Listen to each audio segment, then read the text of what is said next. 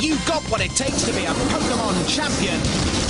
I'm gonna win this time! Now you've got three chances to take up the Pokemon Challenge. Mondays, Wednesdays, and Fridays on CITV. It's a catch 'em all kind of thing.